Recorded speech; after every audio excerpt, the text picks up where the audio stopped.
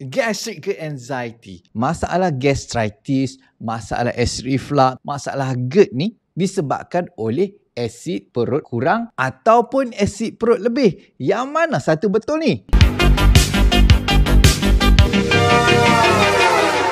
Kita faham secara umum masalah penghadaman ni disebabkan oleh asid perut lebih lah. Sebab dia senang nak explain. Macam mana berlakunya keradangan pada kita punya perut. Bermaksud asid perut tu jadi banyak. Lepas tu dia hakih kita punya dinding perut. Dan kalau nak explain untuk masalah acid reflux, kita boleh cakap asid perut tu makin bertambah banyak. Dia naik membuat-buat sampai ke tekak. Tekak pun rasa perit, rasa pedih, mulut pun nak jadi masam. Kan betul tu asid perut lebih. Kalau asid perut kurang pula, macam mana kita nak jelaskan berlakunya masalah-masalah tadi tu? Baik, untuk kita nak faham sama ada masalah penghadaman ni disebabkan oleh asid perut lebih atau asid perut kurang, kita kena faham dulu apa itu asid perut. Asid perut ni secara general lah kita faham dia sebagai gastric juice campur dengan asid hidroklorik. Gastric juice ni 95% ke 99% adalah air. Baki untuk asid hidroklorik ni selalunya 0.5% sahaja dan yang selebihnya itu untuk enzim yang terlibat dalam proses penghadaman. Perlu kita faham bila berlakunya stres, automatik kita akan masuk dalam mode simpatetik dominan iaitu lawan atau lari. Ini akan menyebabkan kekurangan bekalan darah dan saraf pada sistem penghadaman kita. So bila kita kekurangan bekalan darah dan bekalan saraf, apa yang akan berlaku adalah saya lukis perut lah secara ringkas supaya semua faham. Gastric juice yang terhasil tidak dapat dikosongkan. Gastric juice kita dia sentiasa dikosongkan mengikut kadar gastric emptying rate. So bila badan kita stres, automatik bawah ni dia ada satu sphincter lagi, satu injap iaitu dikenali sebagai pyloric sphincter. Bila badan kita stres, pyloric sphincter ni dia akan tutup menyebabkan gastric juice kita makin bertambah.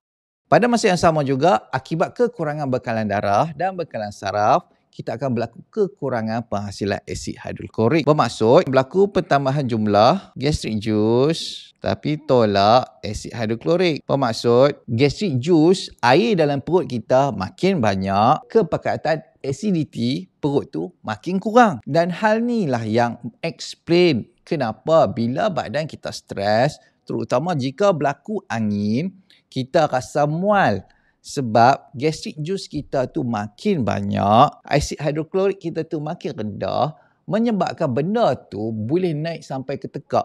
Walaupun kepekatan acidity tu rendah, pH 3.5 ke atas, tetap acidic dia boleh menyebabkan kerengsaan pada tekak. Dan perlu tahu, bila badan kita stres, penghasilan mucus pada dinding perut kita akan kurang. Mucus ni bertanggungjawab untuk melindungi dinding perut kita dari kena asid perut. So bila mucus ni kurang, asid perut tadi walaupun kepekatannya rendah, dia tetap boleh merengsa dinding perut menyebabkan berlakunya masalah gastritis ataupun radam perut.